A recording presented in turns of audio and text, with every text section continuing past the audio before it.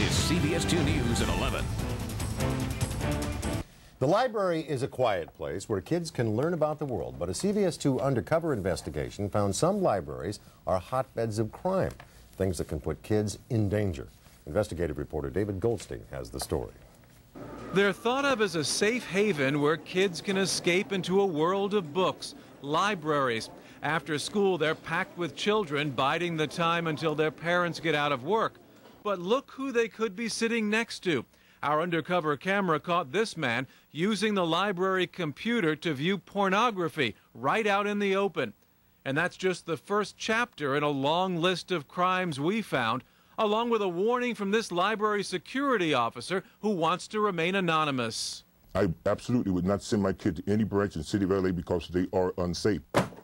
These incident reports, obtained exclusively by CBS 2 News, show what's going on in the LA City Library. Hundreds of pages of reports.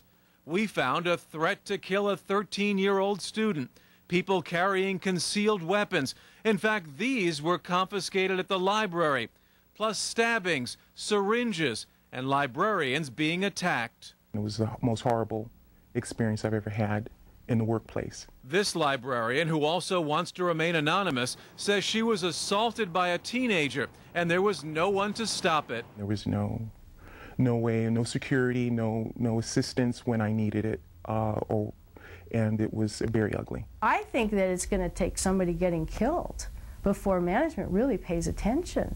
That's how bad it has gotten. Wendy McPherson has worked as a librarian in the LA City system for eight years and has seen it all. There are some branches that really have gotten so unsafe that there should be security there on all hours that it's open. We also uncovered libraries are havens for sex. While we watch this man use the library computer to watch porn, incident reports also detail consensual sex in the bathrooms, groping between the book aisles, and lone sex at the computers. Our security officer says the library wants to keep this information under wraps. The management wants to cover this up because they don't want people to think these libraries are unsafe. But all you have to do is talk to any library staff member in these branches. They'll tell you how unsafe it really is. Overall, we found incidents are going up 683 in 2005, 646 already in just the first seven months of this year breaking the myth that libraries are a safe place for kids. Parents need to understand that they need to accompany their children when they come to visit the public libraries. Ironically, the plan was for safer libraries this year. That's because in February, library security was consolidated under the city's General Services Police Department. Hundreds of officers were added citywide. But some librarians say security has actually gotten worse. Unarmed library security officers are now backed up by armed officers from the Office of Public Safety. But they not only have to answer calls in libraries, but 1,500 facilities citywide.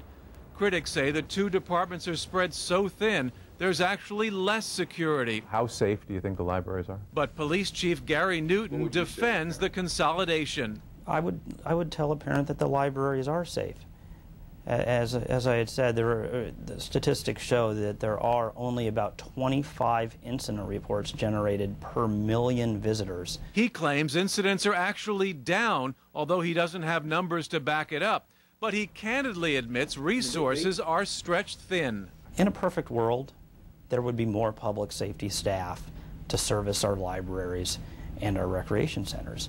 But the reality is there's limited budget money within the city, and we do the best we can with what we have. The chief is looking for more money, but until then, LA's youth looking to learn in the libraries may be getting an unwanted education on crime.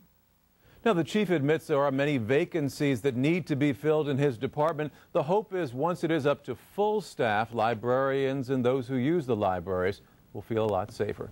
Paul, Laura?